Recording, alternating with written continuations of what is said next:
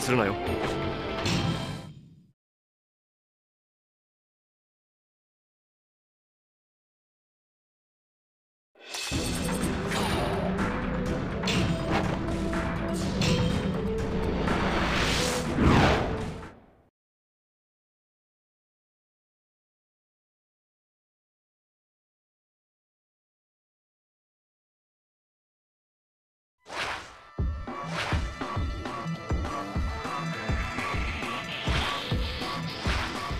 痛い。これが未熟。背負うことの痛み。その苦痛をかみしめるんだ大将今のうちに取り返しがつかなくなる前に。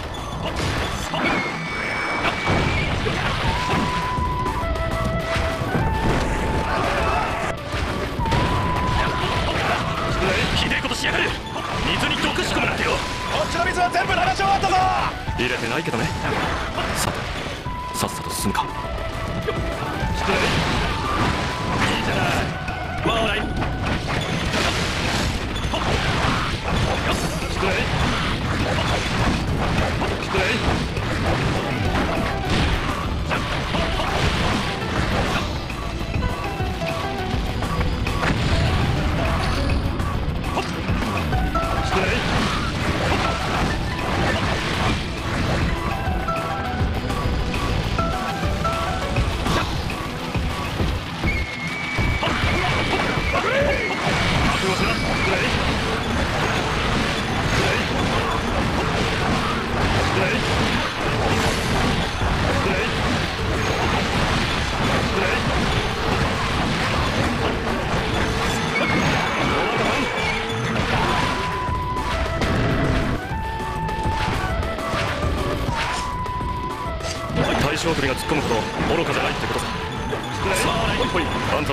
れ右のお時間サスケさん助かりました。援護は任せろ。だから落ち着いていけ。俺様が暴れてるうちに立て直してくれよな。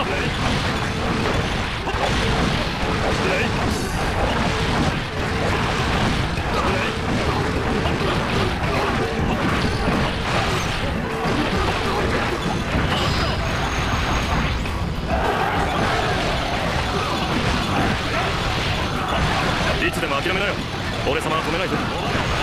忍び風情が出過ぎた真似をお許しください。雪村様にはお主の知ったが一番の薬じゃ。親方様と雪村様の魂は俺たちが守る！そうだ。あんたの合力に期待してるぜ。一部でも隙見せてみな。食らいついてやるいい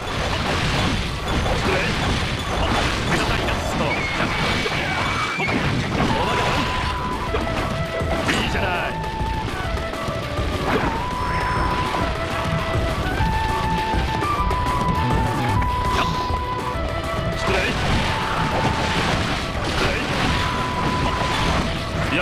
瞬だ。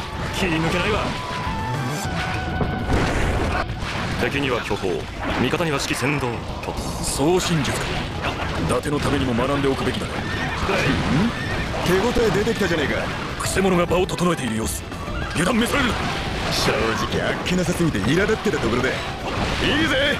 忍びでも何でもぶつけてこいよ俺様も大概冷静なつもりだけど。久々だよ。これだけ視界が猿に染まるのは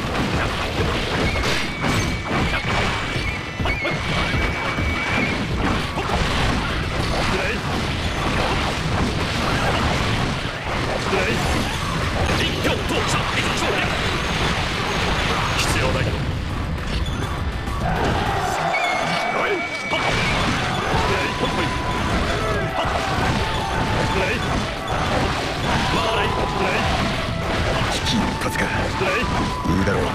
巻き返すまでだ。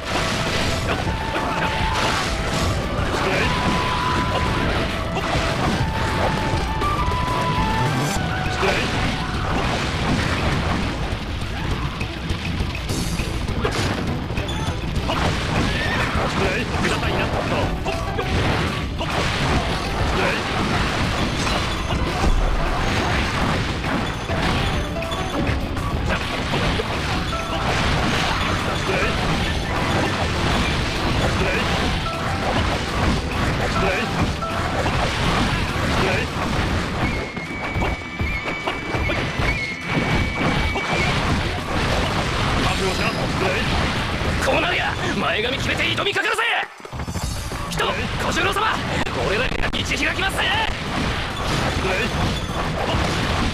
おめえら賑やかに応援してやれシャーッ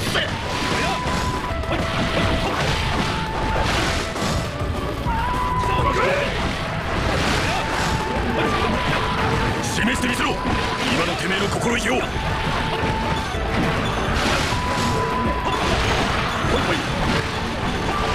わざわざ竜の餌食になりに来たってのか。暇だねあんたも。分かっているそれは俺も同じ意味だ。全力で行け。土産は奴の命でいい。了解さ必要ない。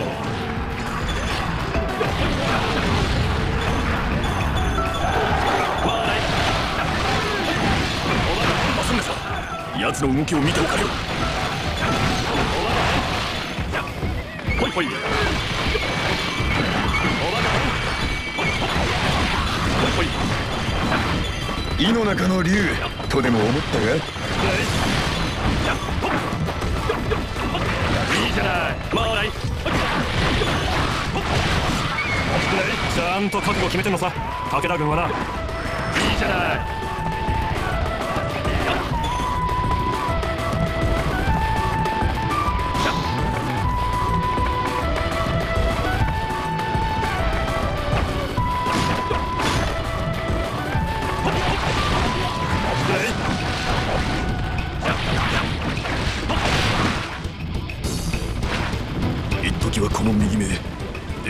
やろうとも考えたがこれは俺の目ではねえ。ならばこの小十郎あの日の誓いをてめえの右目に刻み込むのみ。さ竜の右目あんたおとぎ話とか好きか。あその口車が煩わしいことだけは確か昔々戸隠の山に無数の猿がおりました。里に降りては悪ふざけ戯れることをいとけなある日のこと彼らはぷつりと姿を消した。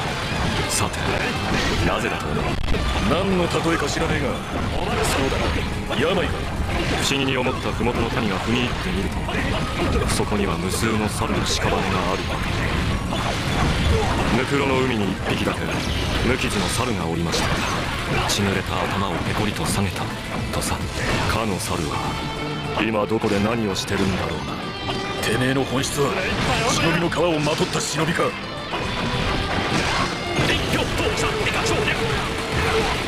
必要ない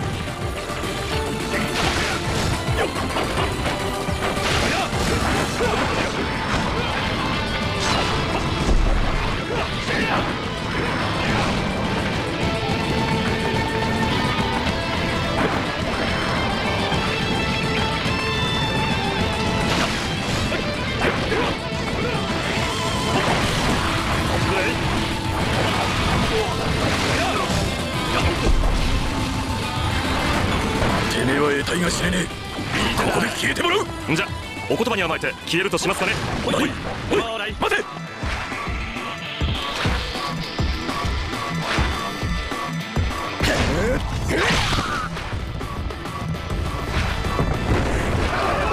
まあいたか。右目相手に消耗は避けたいからな。狙いはあくまで大将首。地に落ちたシャクトリムシさ逃すとは小十郎らしくねえ。しかしこれは。あんたらは土足で甲斐の山を荒らしたんだ血まみれになって死んでも文句はないよ。この薄暗き木。サスケまさかお前なのか？大将。あんたは俺様のような猿になるんだよ。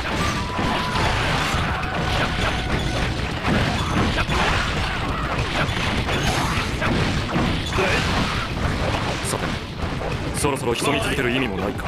極楽遅れた気が利いてるね。静かに行くぜ。俺の目標がそういう人で見物となるか。それともその瀬戸際か。人並みの男になってやらわかるぜ。あんた人じゃねえんだ。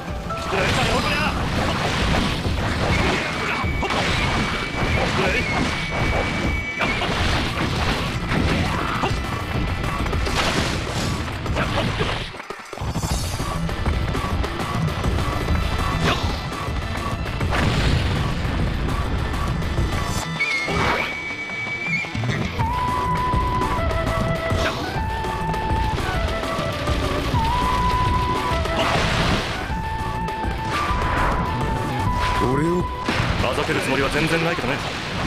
今の俺様にはあんたは猿にしか見えない。尖った挨拶をしてくれるじゃん。どのくらい昔だったかな。敵だとか死んでもいいやつが猿に見えたぞ。そりゃ大変だ。お祓いでも受けてこいよ。そんな目じゃさぞや生きにくかっただろそうでもないよ。身を守るには使えたしな。人としか見えないやつもそれなりに猿に人里は似合わない。結論はそうだ。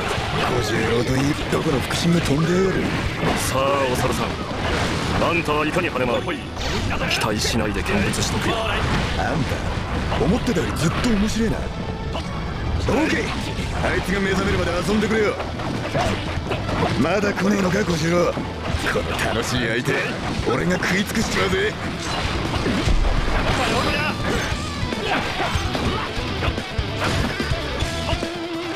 この6層のうち何本まで抜かせてくれる？必要ないだろここは正しくなくあんたはどうする？果たす約束があり。引きはしね行くぜ。アクセル全開慎重な竜なんかおとぎ話にもならねええあんたの前に俺がいる。今はそれでいい。時代に乗り損ねた愚か者か。果たしてどっちかな？逆境がどうした？竜は滝を登るものだ。幕を下ろす。竜の完全勝利でな。水と勝負は濃い方がいい。だろ？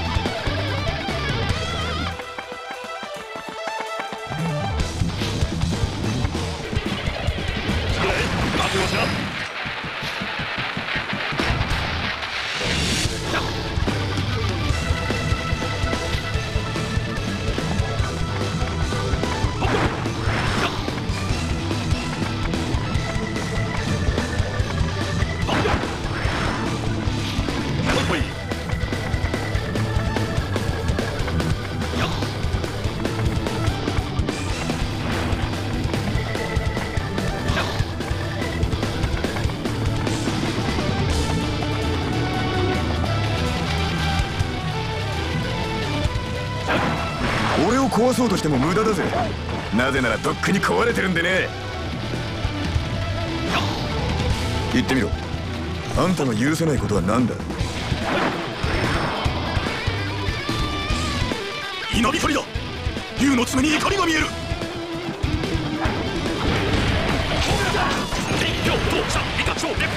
振り払ってやるぜ。肩にしがみついた悪夢を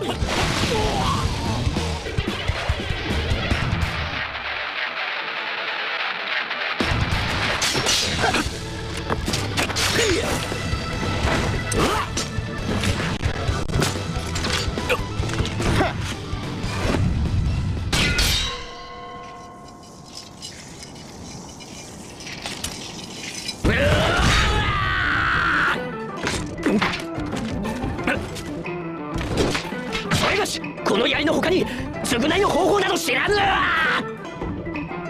何しに来た大将？引っ込んでろって言ったろ。それはできぬ。わ我が槍は千人を守るために存在する。サスケお前の魂をだ